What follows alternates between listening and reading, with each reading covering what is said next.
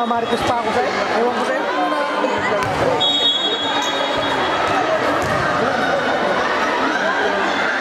Siyempre, kailangan pa ng divorce.